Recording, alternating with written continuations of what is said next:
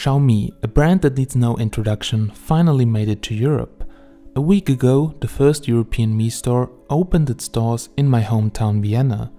The store is operated by an official distributor, and the opening event reminded me of an Apple Store launch event. So, in today's episode of The Truth About, we'll have a closer look at the Xiaomi hype and how the European market compares to the Chinese market. So, two weeks ago, I traveled to China to do some business and have a closer look at the industry and how smartphone brands evolve in China. Now, Xiaomi is often called the Apple of China because it evokes a similar kind of hype in China as Apple does in the US. But the Apple comparison doesn't end here. Xiaomi's founder and CEO Lei Jun is also referred to as the Steve Jobs of China.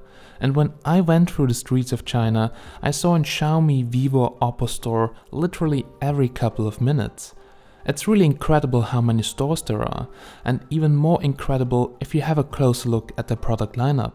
However, even though those stores look official, most of the shops are not since Xiaomi mostly sells online to keep their costs low. While Xiaomi may be selling an incredible number of phones, the company makes very little profit compared to others. The company's 2017 revenue is estimated to be between 17 and 18 billion USD, with a net profit of at least 1 billion USD. So Xiaomi's profits are estimated to double in 2018 to around $2 billion. Compared to Apple, that are relatively low margins and sales, but for Xiaomi this is just a start and now they are expanding to Europe with the low-cost devices. Xiaomi is presently the world's fifth largest smartphone maker, and Xiaomi's products include smartphones, laptops, and related consumer electronics like power banks. All the devices have reasonable good quality, and Mi as a brand is growing in popularity. But why are Xiaomi Redmi phones so cheap even with high specs? Now first of all, Xiaomi decided to sell almost exclusively online to bypass distributors and third-party retailers, both of which seek profits of their own and inflate the price. Also, the price of an average Xiaomi smartphone drops at least two or three times during the product life cycle. But why are these price cuts possible? Because the hardware component costs drop down the road, especially in an industry as heavily characterized by rapid improvements in technology. This means that the core of the Xiaomi phone costs significantly less half a year later, allowing for equally significant savings that in turn let the company go for a price cut. Importantly, Xiaomi continues to sell older devices and tweaked versions of them at reduced prices even after it releases newer models. Xiaomi is also not only a mobile company. When you buy a Xiaomi smartphone, it usually comes with a few apps, which you may not require. These apps are of non-removable nature, at least in general. Over a period, people start using these apps and Xiaomi makes money from the advertisements which they are placing inside the apps or paid services. The company also does not advertise their phones on any kind of media like TV or radio, and in my whole YouTube career I've never received a smartphone from Xiaomi directly, just from a bunch of retailers. This saves a lot of money from the company. At the same time, the company only sells the phones online without selling it at local stores or retail stores, such as Flipkart, Amazon, Snapdeal, and the official Mi store. This eliminates the margins of all types of middlemen, and this is the biggest reason for its low cost. But why have they opened up now stores across Europe?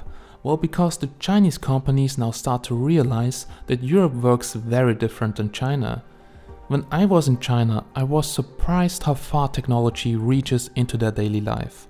Most of the people don't carry any cash at all everything gets paid via WeChat, and I even had issues buying stuff with my credit card. All this is very different to the lifestyle of people in Europe. And I've also visited the Chinese electronic market, and our guide and good buddy Jackie told us that in the early days it was so crowded that you could barely breathe. But right now the market appears really empty. All the sales are switching to online channels as they are cheaper and save costs. This is a little bit sad because I really love the atmosphere of the electronic market, which is still huge, but it's decreasing in size every year and most of the people just start selling on Alibaba. The senior vice president responsible for Xiaomi's international business also said that the company has many, many customers in Spain, the UK, Germany, and Italy, so it's a very effective market. And first of all, they want to make Spain successful and then expand to other markets. He said that they want to learn from the customers about the taste of European people, which I think is very important. And in fact, even though Amazon is growing like a rocket, people in Europe prefer buying from shops or companies in Europe, so that they have a responsible person or company for warranty as well.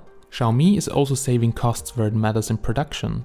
Over the lifetime of a product, they can increase quantities and also get a better deal with the supplier, and in the end, they will end up with better margins than they actually started with. I visited Dongguan and Shenzhen in China and we had a look at some factories. Not Xiaomi factories, but those assembly factories give you a good insight on how your smartphone or power bank is actually made. And even though you may won't believe it, it requires more human work than you will ever think. For sure, machines are manufacturing the single parts, but most of the time they have to be put together by humans, and I have great respect for these people since it looks like a very, very exhausting job. Now, Xiaomi started assembling phones in India back in 2015, committing to the government's Make in India initiative. And now, the company is announcing that it's launching three new smartphone manufacturing facilities in the country. The three new smartphone plants in partnership with Foxconn now employ more than 10,000 people, of which more than 95% are women.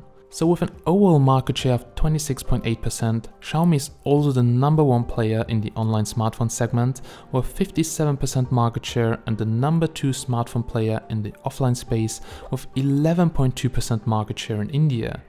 Soon they will also focus on Europe, and I'm very excited and a little bit scared on what will happen to the smartphone market when they do. So that was another episode of The Truth About. I really hope that you liked it, and if you did, please like this video. And if you want to see more from my trip in China, please subscribe. I'm Steven from Tech Magnet, and I'll catch you in the next one. Have a nice day.